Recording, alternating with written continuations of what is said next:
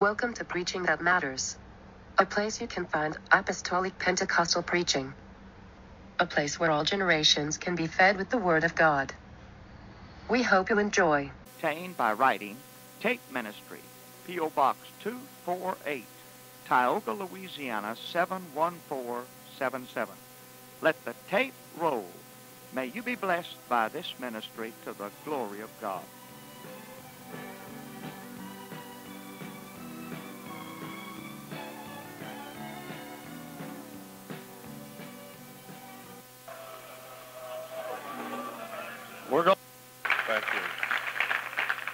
Bless you. You can return to your seats and remain standing.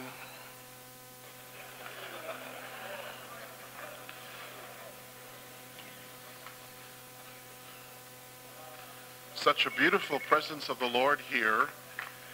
We give honor to the Spirit of Christ here, to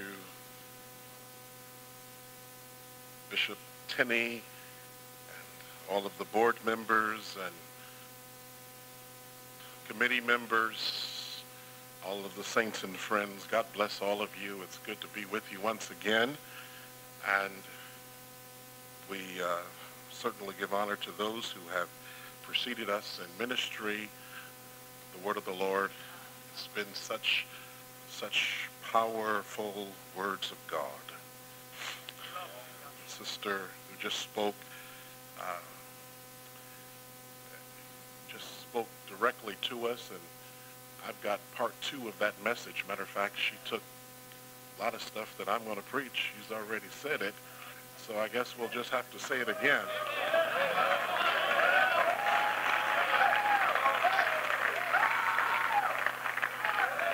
It's good to be back in this conference. I, I have thought very fondly of the time that I spent with you last year here, preached a couple of messages. How many remember doing the rain dance? And how many have come out of or stopped doing the rain dance and are dancing in the rain? Amen. Some of you have mentioned the break the box, and I, I hope your box is still broken. Certainly after a message that we've just heard, we should be broken. If you don't mind, I'd like to go right to the word of the Lord. 2 Kings chapter 5, verse 1 and verse 8 through 14.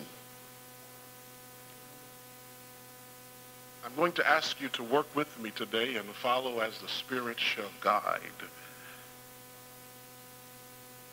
2 Kings chapter 5, verse 1, verse 8 through 14. Oh, keep playing softly, How many have it? Now Naaman, captain of the host of the king of Syria, was a great man with his master and honorable, because by him the Lord had given deliverance unto Syria. He was also a mighty man in valor, but he was a leper. Now Naaman, captain of the host of the king of, Israel, of Syria, was a great man with his master and honorable, because by him the Lord had given deliverance unto Syria. But he was a leper. But he was a leper.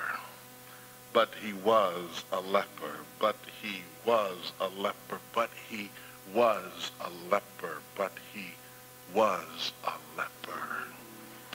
Verse 8, and it was so when Elisha, the man of God, had heard that the king of Israel had rent his clothes, that he sent to the king, saying, Wherefore hast thou rent thy clothes? Let him come now to me, and he shall know that there is a prophet in Israel. So Naaman came with his horses and with his chariots and stood at the door of the house of Elisha.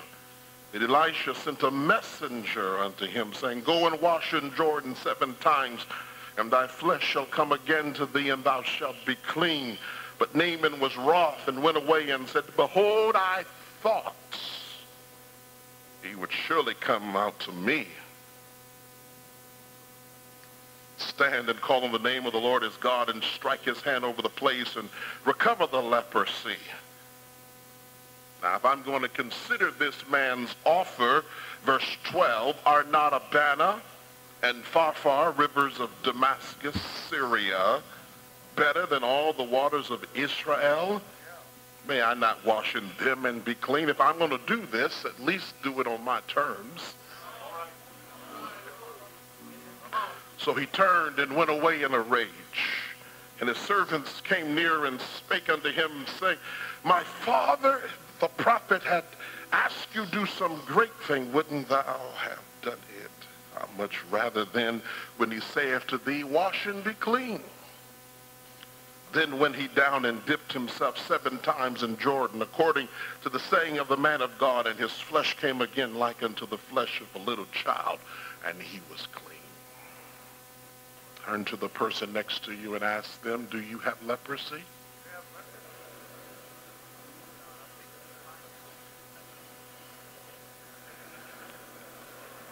My message today shall be centered around these words, honor or healing. Honor or healing. Join hands with the man next to you. Father, bless us now. We're in definite, desperate need of you. God, I'm just conscious of your presence here and your anointing, the, the unction. Oh, God, I, I, I'm not even worthy to stand here and deliver this because you've given it to me. God, help me to, help me to share it. Help me to declare it. Hallelujah. Let there be a wave of the Spirit that shall go up and down and from the front to the back God, move in this place like never before. Use me, God, like you've never used me before. In Jesus' name. Hey, God, clap your hands and you can be seated.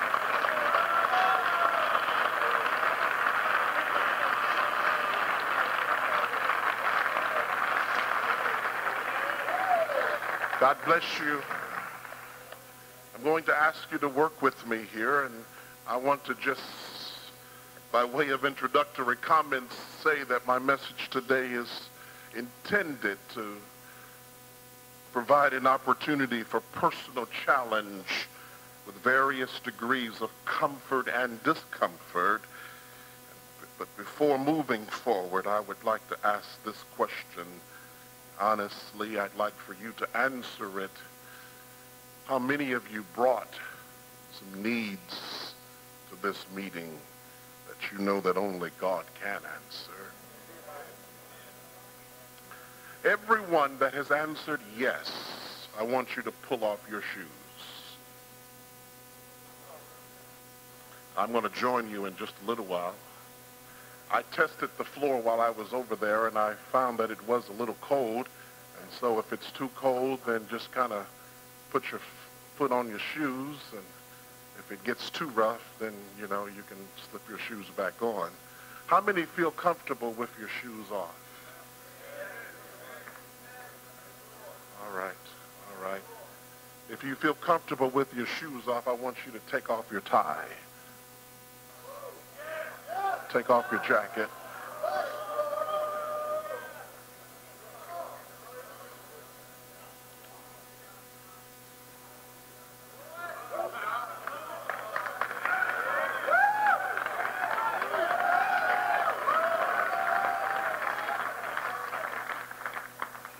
I don't just do things like this without inspiration from God. I, I am not a wild and crazy preacher. Uh, but uh, I have felt to ask you to do these things. And as I look in the scripture, there's a number of opportunities for God to do things that are a little bit out of the ordinary and out of the customary. How do you explain God doing some of the crazy things that he did? It didn't operate within the confines of our box.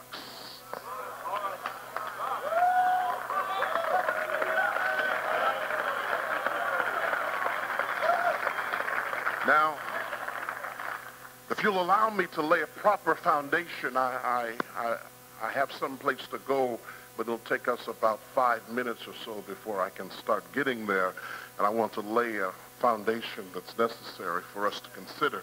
While I was in college some years ago, I was interested in the study of psychology. Many of you that uh, have taken psych courses, uh, as I, wanted to uh, find out and to search out the what and the why of man's behavior. And as we begin to study psychology, we find that not all psychologists agree on uh, personality and behavior theory. Proponents of behavioral psychology believe that human behavior is controlled by external forces, while proponents of psychoanalytic psychology believe that behavior is controlled by internal unconscious forces. Humanistic psychology uh, suggests that uh, you incorporate aspects of both behavioral and psychoanalytic psychology. Sigmund Freud, all of you have heard of Freud, was one who was a proponent of psychoanalytic theory. And he divided the personality into three parts. The id, ID, the ego, and the superego. The id represents biological forces, and it is always present in us, according to Freud. It is governed by the pleasure principle. Give me, give me, give me, satisfy me, take care of me. And Freud saw sex and violence as the energy for the id, the ID. Notice how Hollywood has capitalized on the id principle. However, the ego is the surface of the personality. It is the part that you show the world. And it is governed by the principles of pragmatism and reality. Uh, the ego uh, prevents oftentimes the gratification of the id based on pragmatic things. A child that wants to steal a cookie will not steal the cookie while you're present watching him. He is pragmatic and the ego controls the desires of the id at that point. The superego consists of two parts, the conscience and the ego ideal. The conscience decides what course of action one should take. It is the metaphor of the angel and the devil on each shoulder. The ego ideal is an idealized view of oneself, and comparisons are made between the ideal and one's actual behavior. Maslow, as a theorist, rejected the idea that human behavior was controlled only by internal forces. Instead, he suggested that people have certain needs which are unchanging and genetic in origin. He said that these needs are the same in all people across all cultures. They are both physiological uh, and psychological. Maslow, you will recall, said uh, that these needs are hierarchical in order, meaning uh, that there are some needs that are more basic than others. They're more powerful than others. And as these basic needs begin to be satisfied, then higher level needs called growth needs emerge. And once these are reasonably satisfied, then one may be able to reach the highest level called self-actualization. He suggested that only one in ten individuals become fully self-actualized basic things, the basic needs are things like food and sleep and uh, safety, while growth needs are the things like love and belonging and mastery and prestige. All of you indicated, or most of you indicated, that you brought some needs uh, to this meeting. What kind of needs do you have? I would like to uh, lay that aside for just a moment and uh, begin to dissect the text and uh, go back to the foundation as we see a need to as we begin to progress this afternoon. On the stage of our text, we are introduced to two characters. I will deal with the minor character first, and the minor character was the prophet Elisha. He was the successor of Elijah. This was the man who was commissioned to minister to a broken nation. They, Israel, was broken in their concept of self. Militarily, they were not that strong. Economic conditions were not very good in Israel at that time. And Elisha felt that in order to rebuild and restructure and recover and to minister to a broken nation, that he would need a double portion of Elijah's spirit. He continued the school of the prophets to teach young men how to say yes and hear what thus saith the Lord.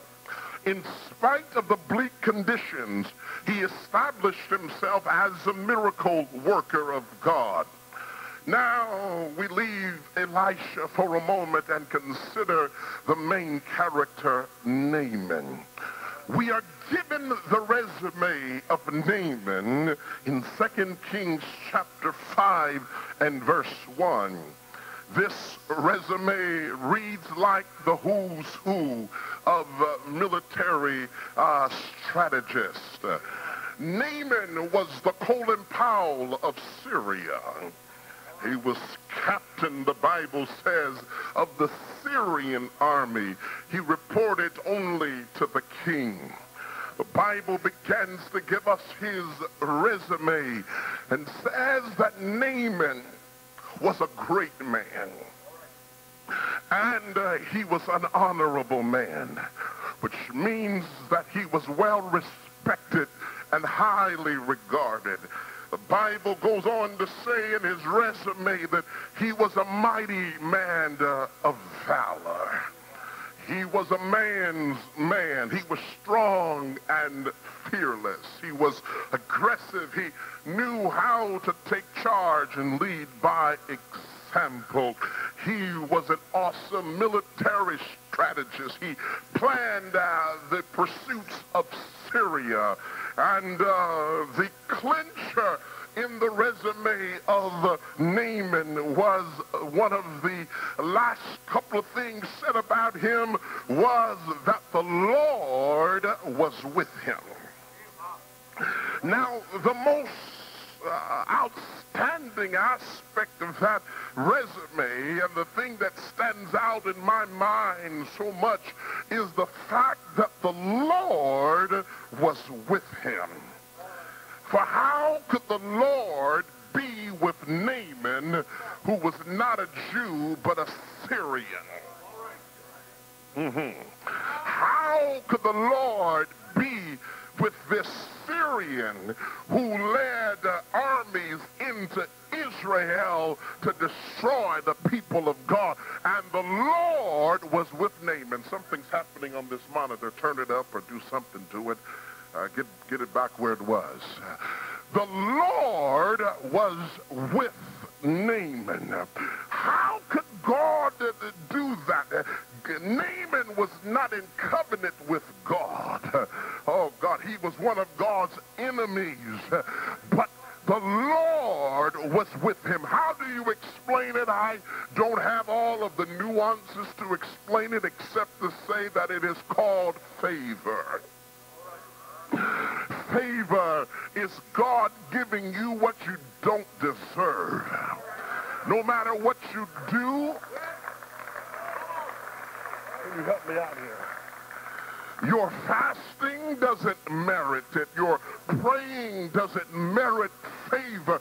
This is of grace. It is not of seniority. It is not of merit. God blesses you not because you've earned it, but because he's designed to bless you. He'll make people uh, who don't like you turn around uh, and bless you. God said, I'll make your enemies your footstools. Uh, but brothers this afternoon, I want to tell you that God is an economist. If God invests in you, he plans to get something from his investment. He doesn't bless you for you to be blessed alone, but rather he touches your life so that you can touch the life of somebody else. That's why, my brothers, if you're on the mountain today, then you ought to strengthen somebody who's in the valley. If God anoints you, he wants you to get ready for the assignment. Get ready, Naaman. Uh, God is preparing you. And so here is the resume of Naaman. He is commended for his character. He is commended for his professional accomplishment. He is commended for his valor. And the Lord was with him. But before we get ready to nominate Naaman for president, before we draw up the balance and have his name on it, there is something uh, in the resume buried at the end where you hope the recruiter won't pay too much attention. Oh, there, oh, can I preach like I feel this morning? There was a conjunction in the sentence. There was a conjunction in the sentence. Something to potentially negate all of the public persona at the press conference just when the press corps was about to fall in love with Naaman, just when Time Magazine and CNN and ABC were ready to interview Naaman, just then some reporter found a but in the resume. Found that there was a three-letter word, but, but, but, he was a leper. The resume reads fine when it says, and he was, and he was, and he did, and the Lord was with him. But why did God put that little disclaimer there in the resume? But he was a resume. The ego, the pragmatic side of us, only wants to reveal the resume that reads and, and, and, and. Ah, but the id, Freud, in all of us uh, drives us and it points out the instincts of our humanity demand that there will be a but in the resume. Uh, from the best of us in here to the worst of us, there is a disconnect between the conscious and the ego ideal. Uh, the Bible says it like this, for the flesh is at war against the spirit, and the spirit is at war against the flesh. But he was a leper. But he was a leper. That part of our character, that part of our personality, that part of our nature that seems to come up uh, even when we don't want it to. Uh, after shouting in the aisles, after speaking in tongues, uh, after preaching the great sermon, all of us still have to deal with the conjunction in the resume. But he is a leper. Ladies try to cover it up with a long dress, but the slip is still showing. Men put on suspenders to try to keep it concealed. some try a New Year's resolution, but the leprosy is still there. Ego says hide it, push it aside. It says don't hurt me, give me more pleasure. Maslow's basic needs uh, says hide me. I need safety. Brothers, today we live in a time, certainly when the church uh, is under scrutiny from within and from without. Uh, and sometimes we can project our ands, ands, ands. That part of the resume we want everybody to see. And then when the imperfections are shown, when the but is disclosed in the resume, we get disillusioned.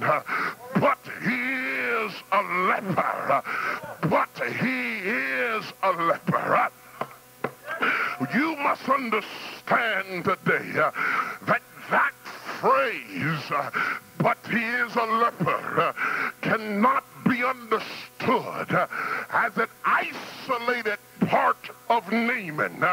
It has to be understood in the context of the total man. God spoke to me last night and said, for God was with him in his leprosy. And the other side is, and God was with him, but he had leprosy. Can I preach like I feel this morning? God was with him in his leprosy, uh, and God was with him, but he had leprosy. Uh, even when we don't want to admit it, uh, even when we don't want to deal with it, we must face the fact. But he is a flirt. But he's got stray eyes. But he is impulsive. But he is irrational but he is a temper person. But he uses pornography. But he's been a molester. But his marriage is on the rocks. But he's on his way to divorce court. But he's had an affair. But he is a single parent. but he's been molested in his child. but he's got homosexual urges. but he can't hold a job down. but he doesn't pray. But his emotions have been hurt. But, but, but.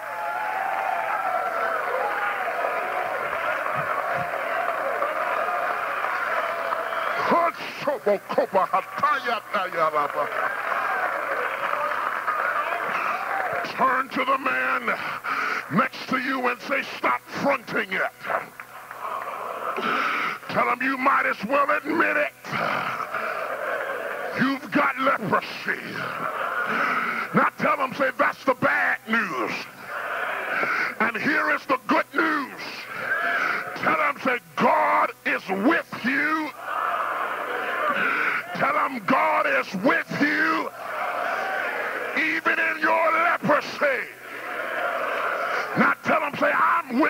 With you also.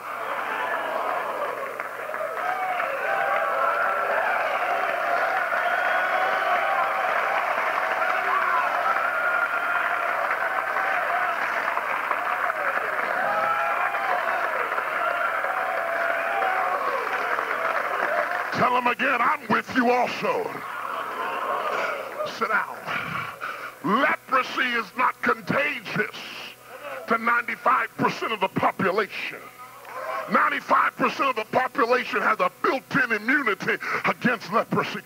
Somebody. Uh, you're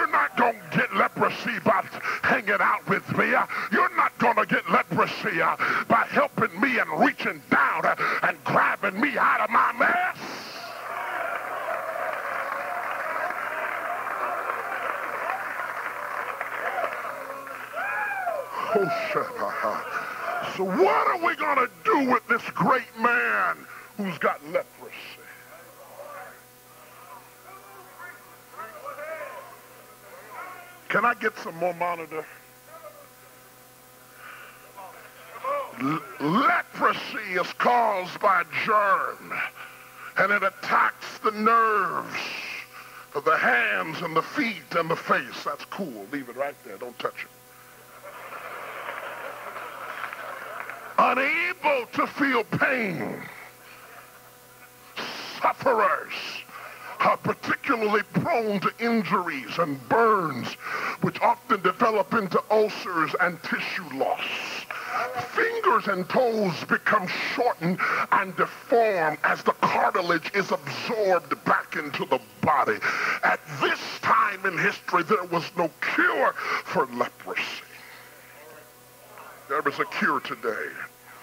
Leprosy thrives in overcrowded conditions, poor nutrition, poor sanitation, and poverty. But how is it that this great man got leprosy? Surely he wasn't poor. Surely he lived in the burbs. Come on, somebody. But the but is in all of our resumes.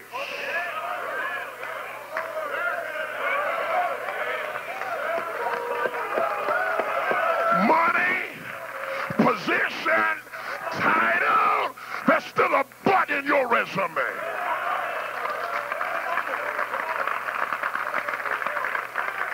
starts as a white spotted disease, but it comes to destroy you and to get you off balance. For once your toes and your fingers, uh, amen, are shortened and absorbed back uh, into your body, then you can't walk straight no matter how hard you try. Can I tell you, my brothers, today, you can't cover up leprosy with English leather.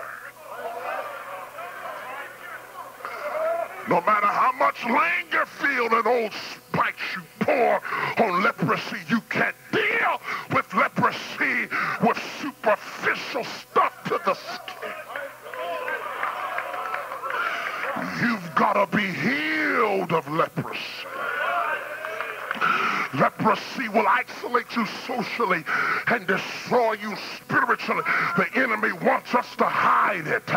Amen. Behind the ands and the ands and and and and in our resume. Or else he wants us to hold our head down between our knees and despair. My God, he wants us to shun our brothers that have leprosy. But I stop by to tell you, God is not afraid of leprosy. Matter of fact, let me tell you, go tell Lazarus, I'm not afraid of the fact that it's stinking. Matter of fact, go tell David, I'll have mercy on his adultery and restore his joy. Go tell Peter that even though he committed assault with a deadly weapon, he's still in the ministry and he'll preach the dedication sermon uh, of the first church. Tell Thomas, I'll restore his faith. Uh, tell Moses, uh, his temper tantrum won't keep me from putting him on the Mount of Transfiguration.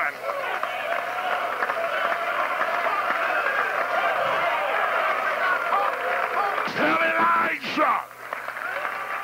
His discouragement won't keep me from taking him up into heaven. Now, Bembry, go tell the men of Louisiana. Tell them that Jesus will pick them up if it has to reach way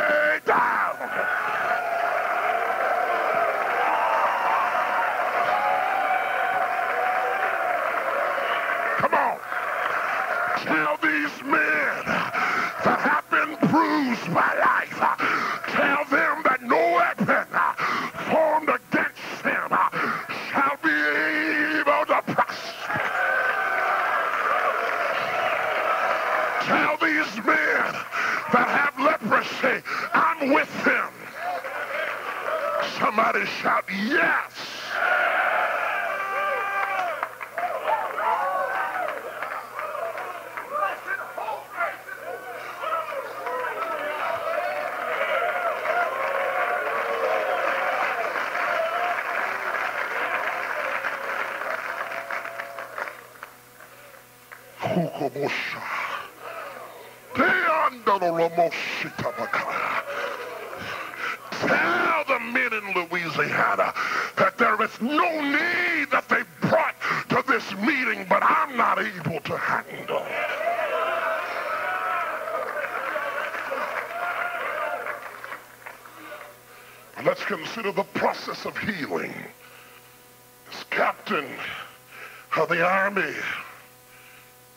Bible says they went into Israel and they took a little Jewish girl, brought her home to the house of Naaman. She was Naaman's wife's slave. Come on, somebody. Strategically placed in the house of Naaman. A nameless maid. God set it up. May I tell you, you're important to God. It doesn't matter how messed up you are. God said, I'll never leave you. Come on, somebody. In the fire, I'm there. In the water, I'm there. In the sick trouble, you're not by yourself. With leprosy, I'm there. God will go through any means necessary to let you know he's with you. He'll disrupt the universe. He'll bash heads. He'll change the order of the climate. He'll move people out of the way just to let you know he's with you. God dropped the slave girl to be a witness to this Colin Powell of Syria.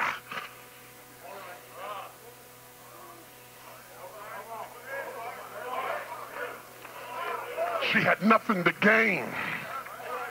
By all right, she should have kept her mouth shut. Come on, somebody. For if her God was so good, why would he allow her to be picking up Naaman's wife underclothes? Come on, somebody. And changing the poo-poo. Come on, somebody.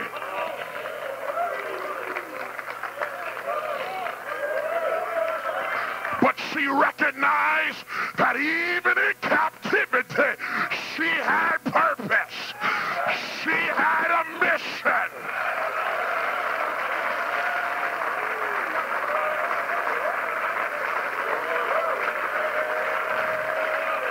Even when her people were steeped in idolatry, she had a sixth sense. Come on, somebody. God will allow you to be put in an inferior position such that you can reveal his glory. I may not have a title. I may not have any money. I'm not a who's who. Nobody calls me to preach, but God's getting ready to use me anyhow. Somebody shout glory.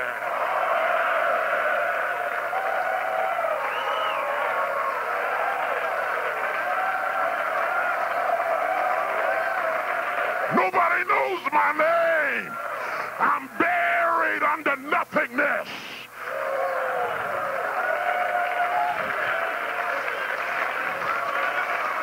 She said,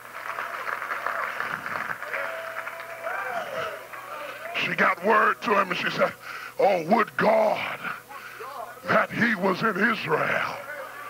Come on, somebody. Because we got a prophet over in Israel. Come on, somebody. Naaman was so desperate, he jumped on the offer. His king sent him, follow the protocol. His king sent him to the king of Israel. And his healing got hung up in some diplomatic crossfire. But thank God that there is a balm in Gilead. If you really want to get your healing, you can and will be healed while folks are wondering, talking and holding their nose, somebody needs healing. While folks are playing politics, being jealous of somebody, came for healing. The prophet Elijah heard about the dilemma and said, bring him to me.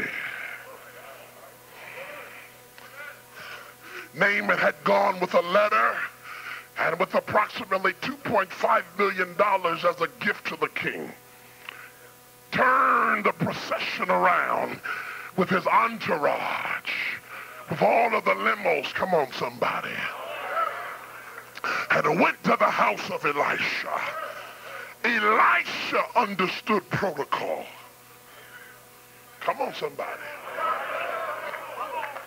But instead of playing to the id and the ego of Naaman, he went directly to Maslow. Come on here. And he spoke directly to the basic and the growth needs of Naaman. God knew that the real need of Naaman was healing, not ego stimulation.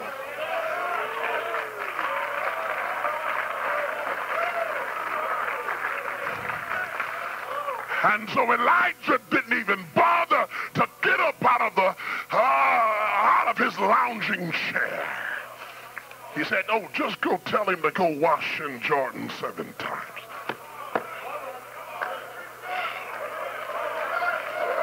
He understood protocol.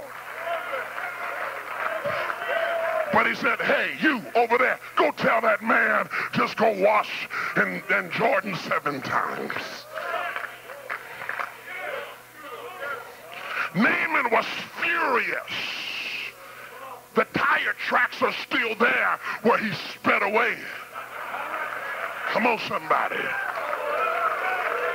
He said, I thought Elisha would come and do his hoodoo voodoo. Oh, and leave my honor intact, uh, and leave my id alone, uh, and leave my eagle alone. I thought. Turn to somebody and tell them, stop thinking.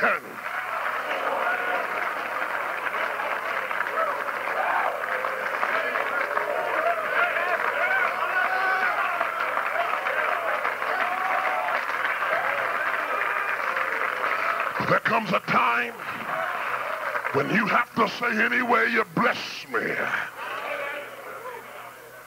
I'll be satisfied. I'm not worried about my I need healing. I'm not worried about protocol. I need healing. I'm not worried about my honor. I need healing. Just heal me. Just heal me.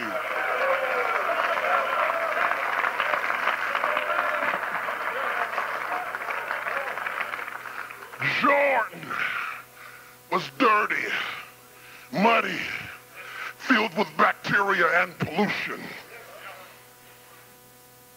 The paper company dumped their mess in Jordan. Come on, somebody. And so Naaman said, listen, if I am going to consider what this crazy man said, at least let's be healthy about it. Dip seven times?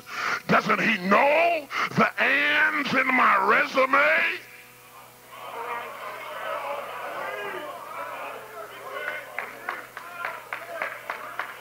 Why Jordan? But God works in a mess.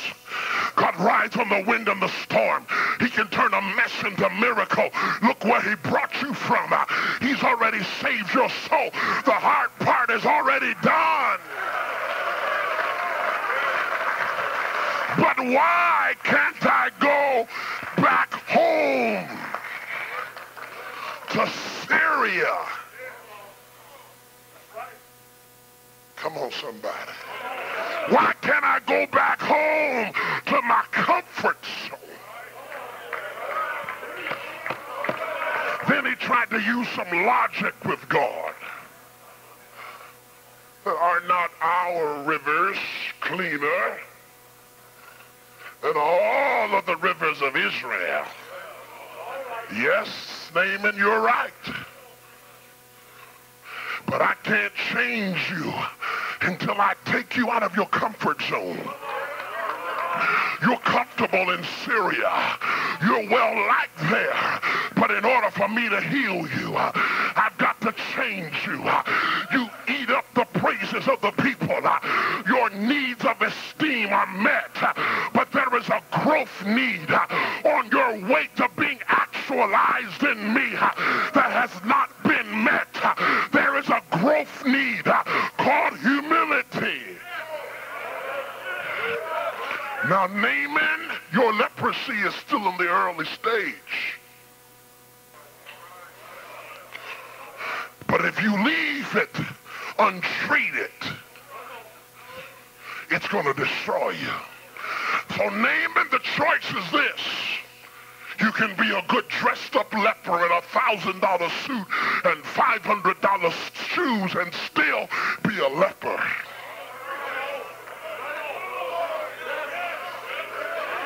Or you can take off the shoes of your pride.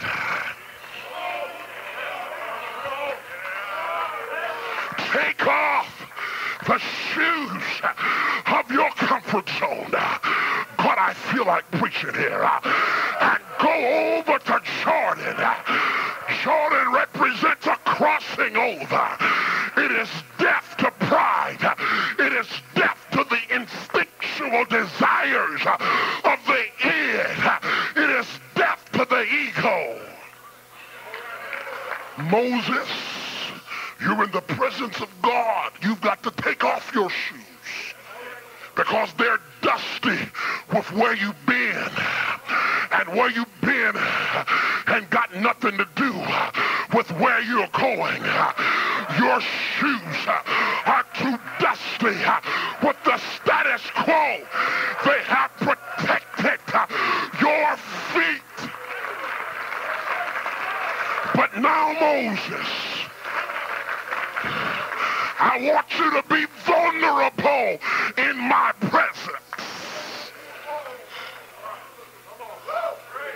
You've never been on holy ground before. But feel the warmth of my anointing on holy ground. Naaman, Naaman. I know it takes you out of your comfort zone to have to bend down take off your shoes uh, and go into the dirty waters uh, of the very people uh, that you beat in war. But do you want to be healed?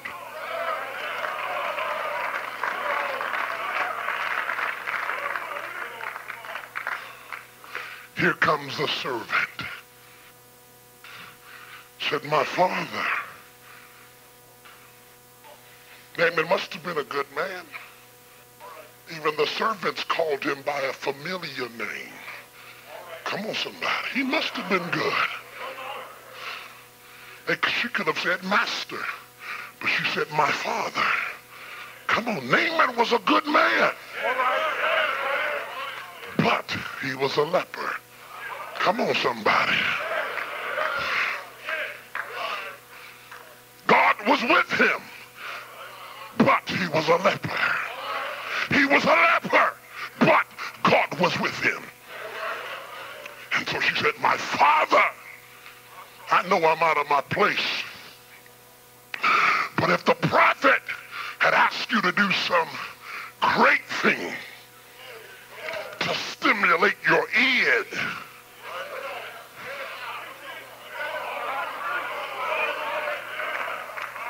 if the prophet had asked you to do some great thing to massage your ego, wouldn't you have done it, my father? Come on, somebody. How much more when he asked you to do this little trivial thing or go wash in Jordan seven times? My father, you're a good man. Everybody likes you. Come on, we're pulling for you. We believe in you, Naaman. You can do it. You better keep somebody around you that'll tell you the truth. And this also speaks of the need of men to support men. Because it really doesn't matter what your condition in, my brother. Come on, we're pulling for you. You got a problem? You're in the right place. There are no big I's or little U's. All of us need healing somewhere.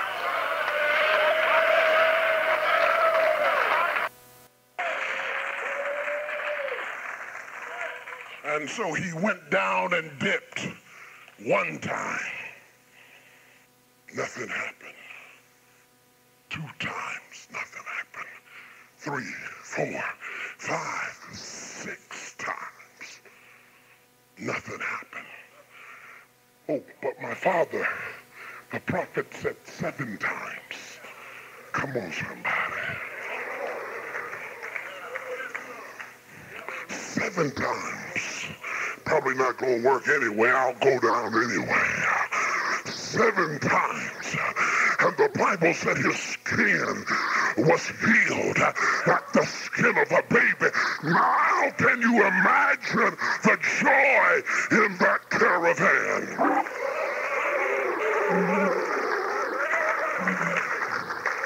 Naaman was smiling from ear to ear.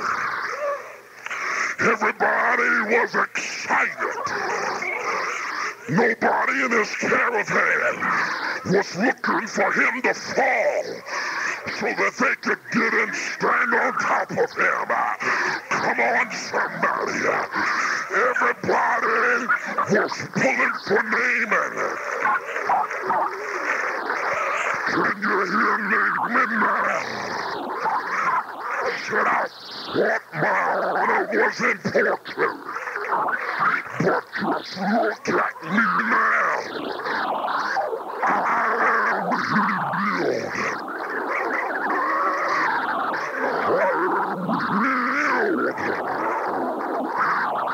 Just wait till I go tell the soldiers. Just wait till I go tell the king. There's no God like the God of Israel.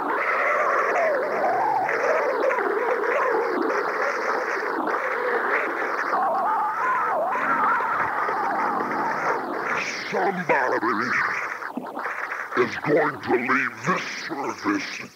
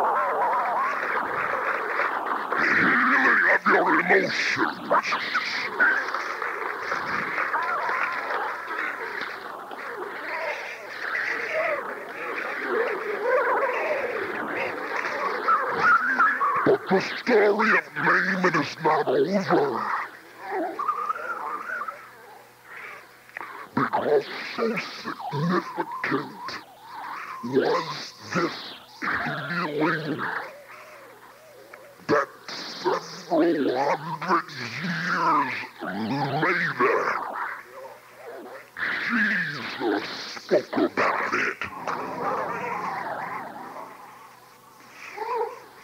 Jesus said, there are a whole lot of lepers in Israel but he said oh, only one Naaman the Syrian. Wasn't even an Israelite. Was healed.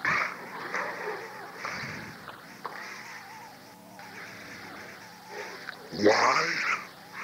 Because of favor one. What God is giving you in this meeting is favor. To be surrounded by the presence of God is called favor. And the second thing is that when confronted with the id and the ego, when he first pushed to the side, he came back and he became willing to push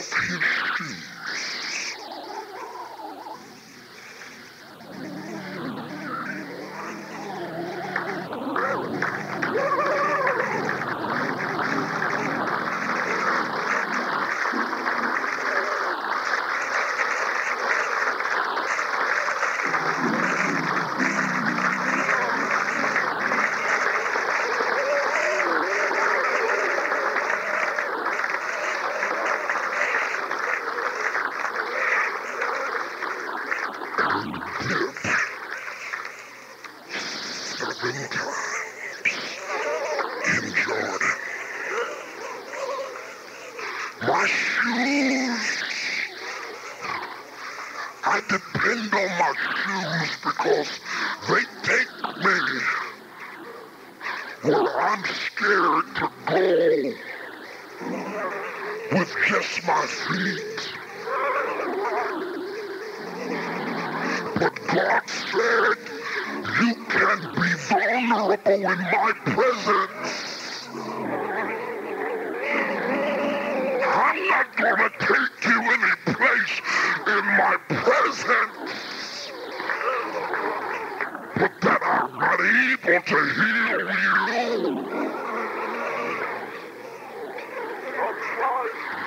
I can heal you. Do you take off the shoes of the take off the shoes of the ego? Are willing to admit that there are some basic needs. There's some growth needs that you have, and specifically named, and you've got leprosy. You gotta be willing to name it. You hear what I'm saying? In a few minutes, we're gonna pray. And I don't want you praying in tongues. I want you to pray in a language that you understand so you can ask God specifically for your need. You hear what I'm saying? Because it's real easy for us getting into the presence of the Lord to go off. Start hallelujah, praise the Lord. No, no, no, no, no, no, no, no. You've got leprosy. You ask God to heal you of your leprosy. You can praise him afterwards. Come on, somebody. You speak in tongues afterwards. But what is it going to be? Honor or your healing?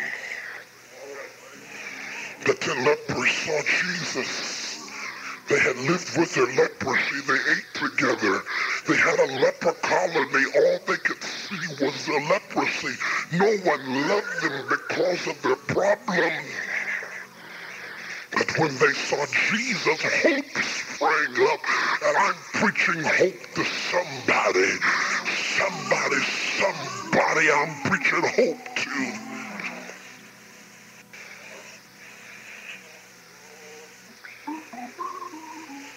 Maybe somebody else doesn't understand you. Maybe somebody else doesn't want to touch you because of the leprosy. But I came to preach to you today and to tell you that have you can have hope. Oh,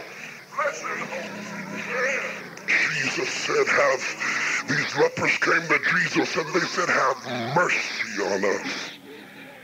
We're not going to try to pretend that we don't need you. We got a problem. Have mercy. On another day, the Bible says that a leper came to Jesus, and the Bible described it and said the man was full of leprosy. But in his humility, he came to Jesus and said, Lord, if you will, I know you can. Jesus said, I will. While other people say, no, no, no, don't get close to me. Jesus says, I will. While other people are not sensitive to the needs that you brought here today, Jesus said, I will. Peter said, you'll never wash my feet. And Jesus said, look, if I don't wash your feet, don't even think about going to heaven. Jesus plays hardball. And Peter said, oh, if that's the way it is,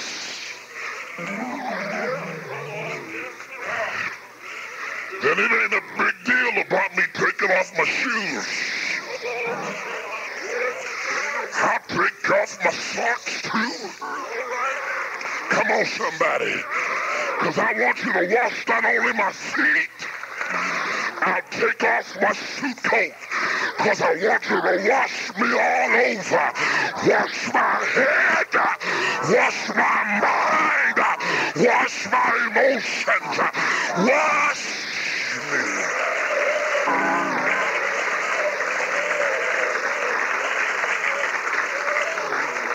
Surrender all. I surrender all. Lock arms with your brother right now. Lock arms with him.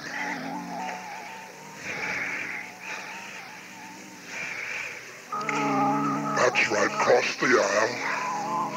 Cross the aisle. Lock arms with your brother.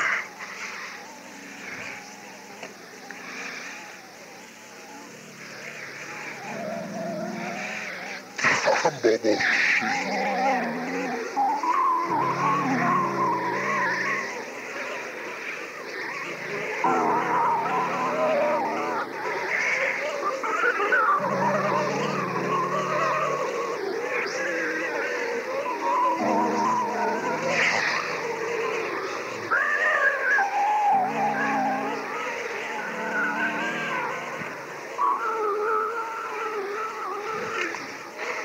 While you're locked arm in arm, would you just begin to walk slowly as close as you can to this front of this building? Just begin to come, come, come, locked arm in arm. Locking arms, locking arms, locking arms locking arms.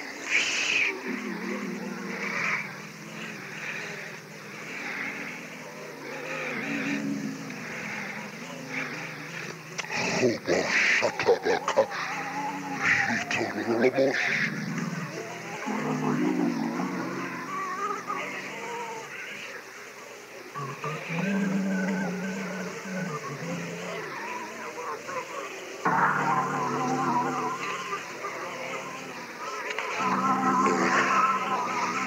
Listen to me. By your locked arms, you're saying to your brother, I'm not scared of your leprosy.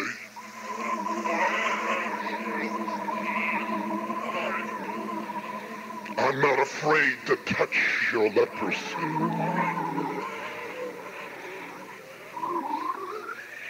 You're not afraid to touch me in my leprosy.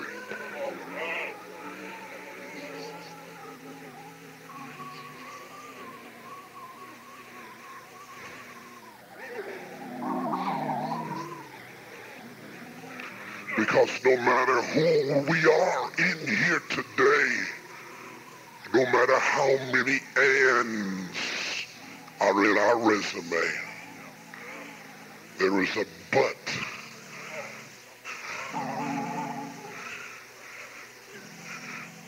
Buried where you don't want it to be seen in the closet someplace. There is a but. So I'm not afraid to touch you. Because you're a like person just like me. You're just like me. I'm just like you. I'm no better than you because I'm preaching.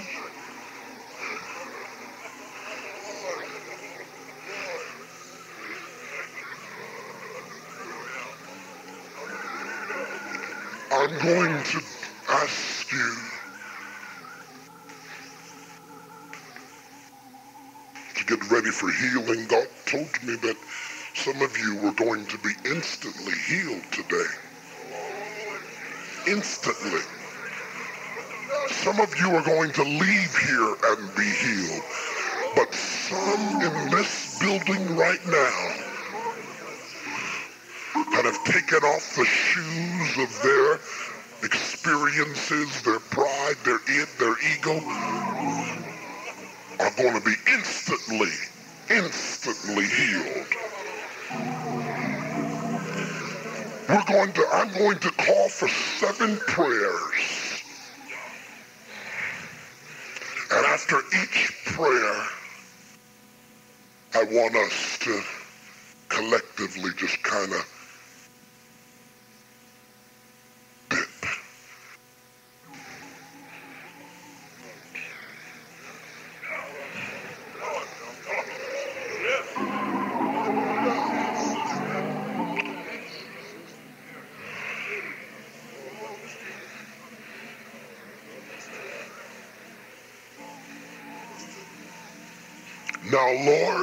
come to thee. We've taken off the shoes of our comfort zone. Have mercy on us. We are naked and open before you. We're not ashamed to be naked and open before you. We bring our id, our ego to you. We expose all of our needs to you. We acknowledge the but in our resume. Heal me, Lord. Heal my bitterness, Lord. Heal. Heal, heal, heal, heal, heal. Heal my repressed feelings of anger. Heal me. Heal my lustful thoughts. Heal me, Lord. Have mercy on me. Create in me a clean heart. Recreate in me a clean heart. Renew a right spirit within me. Give me a deep cleansing, Lord. The off-brands won't do, Lord. I need an industrial strength cleaner. Clean me, Lord. Restore unto me the joy of thy salvation. Then will I teach transgressors their ways. Sinners shall be converted unto you. Now let's take a dip. Brother Dean, I want you to come and pray the second prayer.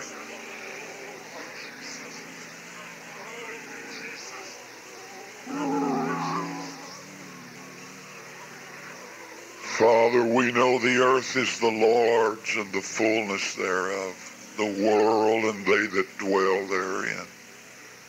He has founded upon the seas and established it upon the floods. And you said through the psalmist, who shall ascend into the hill of the Lord? Who's going to enter into that holy place?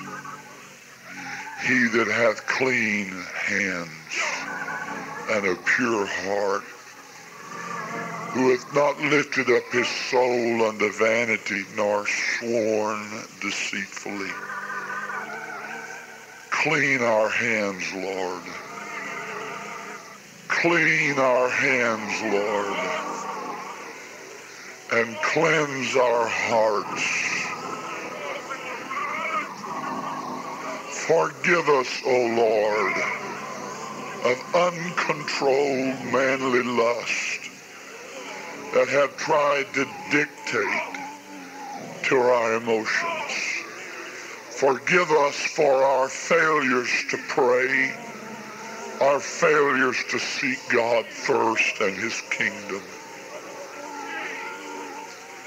In Jesus' name we pray. Amen.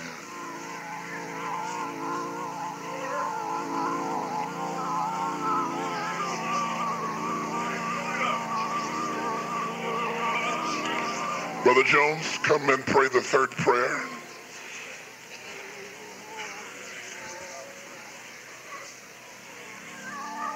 Oh God, our hearts have been cracked open today. The marrow and the bone has been separated by the wedge of your word today. We stand, Lord, with no covering, nothing hidden from you. Your eye sees us not as we wish we were or pretend we are, but as we really are today. God, we hide nothing from you. We come before you needy and broken, failures, Lord, in so many ways. We can ask for no justice, Lord. What we ask for today is mercy, oh God. Forgive us our failures, Lord, as husbands and as fathers. Forgive us our failures, Lord, as shepherds and as sheep. Forgive us our failures, Lord, as servants as men, as human beings. Forgive us for when we were cruel and unthoughtful and inattentive, oh God. Forgive us for our lack of attention to your cause and your plan. Cleanse us by your word today. Don't let us leave the same as when we walked in, but let us go home with new skin, new hearts, new bone, new marrow, cleansed by your word and by your mercy. In Jesus' name.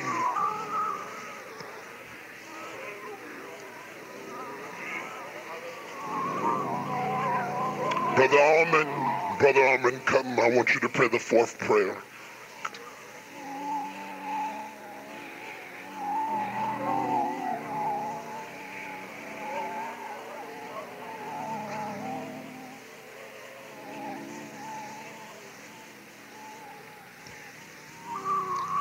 Lord, we're nothing without you. Lord, we need you right now to help us. No other help do we know you can do what no one else can do, Lord. We ask you right now to look into our innermost beings. Heal, Lord, not only our physical bodies, but also, Lord, our spiritual man. Lord, let this healing be of such a nature and this comfort be of such a nature, Lord, that we'll be able to comfort and to heal those with the comfort whereby we have been comforted. Touch us right now, Lord, is our prayer. In Jesus' name. Thank you, Lord. Thank you, Jesus. In Jesus' name, we dip again. Bishop Mangan, come on. I want you to pray the fifth prayer.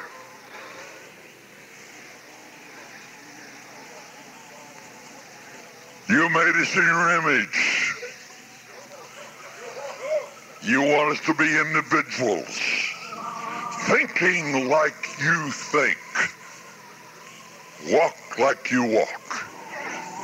You knew when you made us and you gave us that will, you were taking an awful chance, but you did it because you placed in us hate that we might use it to hate the devil and the things of the world. You place in us love. That we would know how to love here, how to love our enemies, and how to love you. You put us together that we might love you. We might serve you. We might do your will. We're not ordinary people, but we are a peculiar people. Called by your name. Assembled in your name, going forth in your name.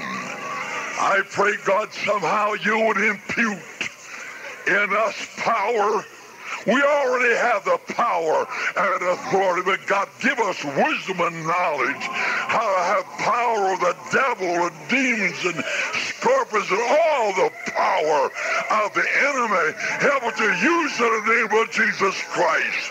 And that what you have given us, whether it's good or bad, use it for your honor and for your glory and for your power. And for your might to come against all evil and the force of the enemy. You have made us to love you and to fight the devil and to fight the things of evil. We love you and we thank you for everything you've given us. May we use it for your honor and your glory. May we walk just like you walk, talk just like you talk. And let us always be in that pre-creation state, like Adam and Eve was, where he walked with you, in the cool of the day, but every day. Walk with you hand in hand, mouth to mouth, and ear to ear, love to love, walking with you. Thank you, Jesus. Let's dip again, brothers. That's the fifth dip. Brother Welch, come here.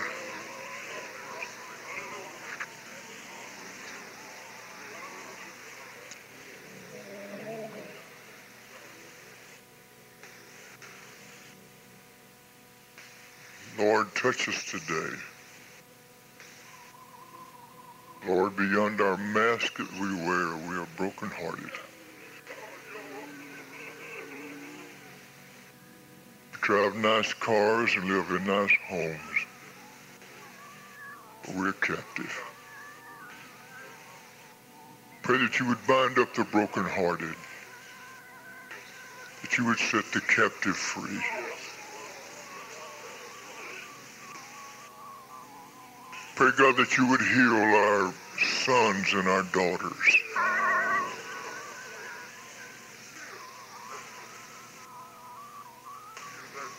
Hear my brothers.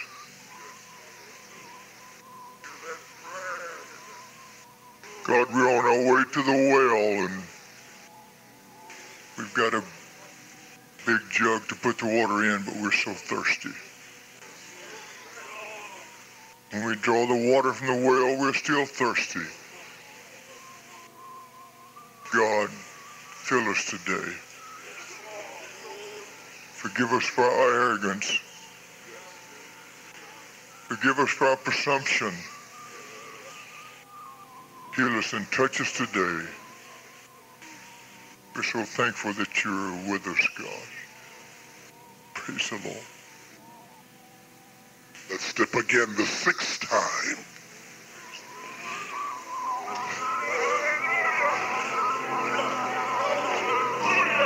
Somebody's about to be healed. Bishop Tenney, Bishop Tenney, Come and pray the seventh and final prayer. Pronounce healing. Who is man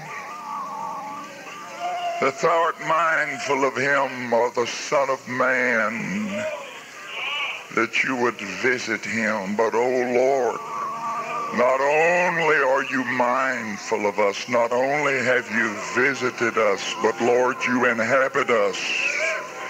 You dwell in us. We are the temple of the Holy Spirit, oh God. This vessel be clean as you are clean. Let it be holy as you are holy. Let it truly be in the image of God. Oh Lord, fill us with a spirit of forgiveness. For we are no more like you than when we can forgive. Even if we don't understand and we're never asked, that we, like you on Calvary, can forgive.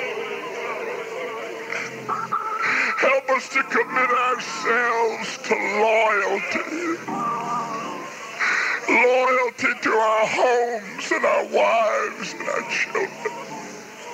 Loyalty to our churches, our brothers, our sisters. Loyalty to our pastors. Submissive even when we don't understand, but submissive because we want to be like Jesus when he prayed, not my will, but thine be done. When it's not our will, Lord, help us to be submissive and then we're like you. Oh, God. Heal us of our unforgiveness. Heal us, Lord, of our lack of submission. Heal us of our disloyalties. Heal us for our lack of love. Heal and we shall be healed. Blessed we shall be blessed. Oh Christ.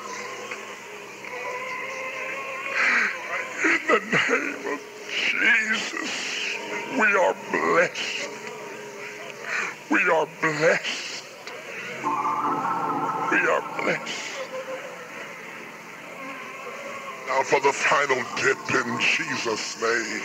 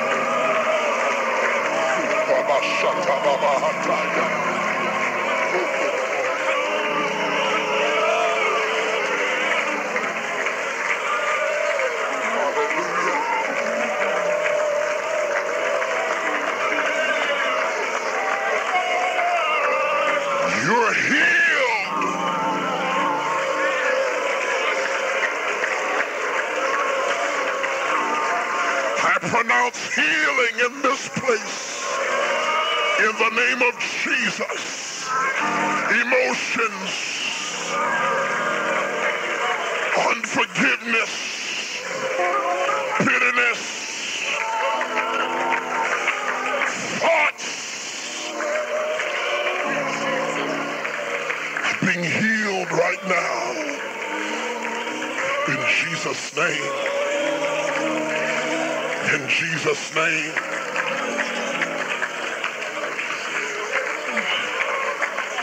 Isaiah said, said when I was confronted with the majesty of the Almighty God, he said one of the angels came and with a live coal and it touched my lips and said, see, I have touched you. You're healed, Isaiah.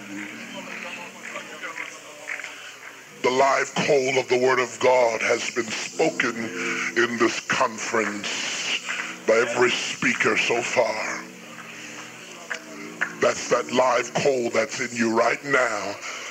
That's performing the work of healing. Come on, just raise your hands one more time and thank God.